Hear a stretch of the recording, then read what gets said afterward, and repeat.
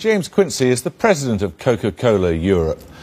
What good does Coca Cola do you physically? Uh, I think Coca-Cola, uh, as, as the introduction said, does have some sugar in it. It, it is energy. Is it an absolute necessity? Uh, no, it's not. Uh, millions of people uh, enjoy it as part of their, their, their diet ac across the UK. Does have some sugar in it, you say? It does. Why don't you say specifically how much sugar there is in this can, for example? Uh, I think if you find, if you You've got- turn... yeah, if you- on the side you see 30, you have a percentage on there, don't you? Yes, r- right here on the front, uh, it quite clearly calls out the amount of uh, sugar in this can of Coke. And what does it say? 35 grams, which is Right. which is six uh, teaspoons of sugar, uh, which is you know about the same amount of calories as a cappuccino or half a croissant. Uh, so there is calories, Is and it- actually, uh, what we're doing is to say, look, the information is here. We want to actually All right. promote and make sure. Do you imagine do people the know if they go to the cinema and they get this is a small one and there are big ones here too. You go to the cinema and you get a, can, uh, a jug of Coke like this. Do you think people have any idea how much sugar's in it?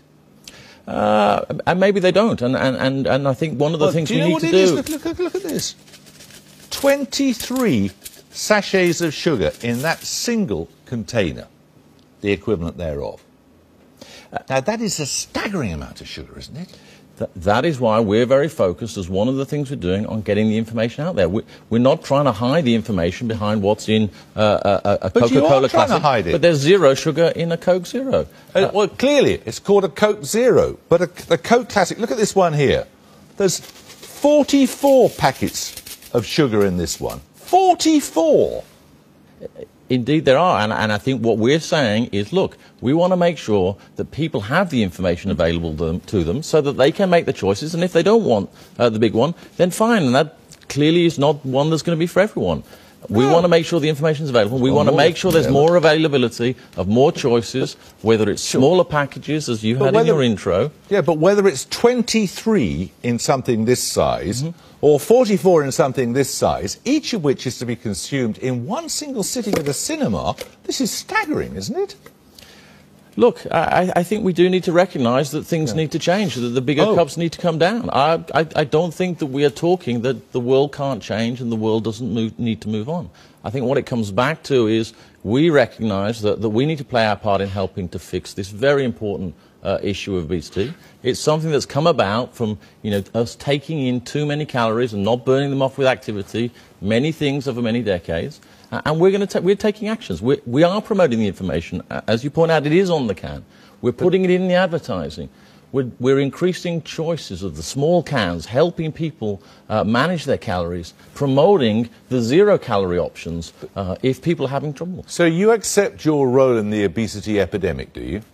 Uh, I think as a contributor of calories into the British diet, uh, of course we must. I mean, soft drinks, all soft drinks together contribute 2% of the calories. Uh, uh, it's a part of it, and therefore we need to accept our role, a- and we do. And that's why we want to focus on actions that we believe will help bring this crisis under control. Isn't what you're doing very similar to what the tobacco companies did when, after the link with cancer had been established, started then trying to get us all to smoke light cigarettes, as opposed to saying, don't have any of them? I think there's a very clear distinction uh, between tobacco and anything to do uh, with food and drink because, in the end, there's no amount of tobacco uh, that's good for you. It directly causes some of the disease. No amount. Whereas with food and drink, anything in moderation can work Yeah. within your lifestyle. Maybe one of these packets in a cup of tea during the course of the day, or maybe even two. 23 in the smallest container at the cinema. the reality, people aren't drinking those. And, and, and I think what we need to focus on is, you know, if we're trying to solve obesity, it's about information. And if you have the information and, and you decide, or whoever decides not to have it, absolutely fine. What we're here to do is to get the information into people's hands, help them make the choices that fit their lifestyle, uh, their choices during a week, uh, and also get out there and try and promote activity uh, with some NGO partners to try and help the other side of the equation and burn off some of those calories. Because when you actually look out there and say, has anyone actually solved the crisis? Because sometimes we look at things and say, well, you know, what will work? But what's important is to look at some of those examples where things have actually happened. There's, a, there's an approach called EPODE out there, started in France, moved across Europe, uh, is now spreading across the world, where they've brought down childhood obesity by 20%. And it's not by taking some Uh, could take a lead in eye-catching or simple measures. It, they did a number of things, bringing in Okay. private companies, health companies, local government communities, and brought down childhood obesity by 20%. Thank you very much.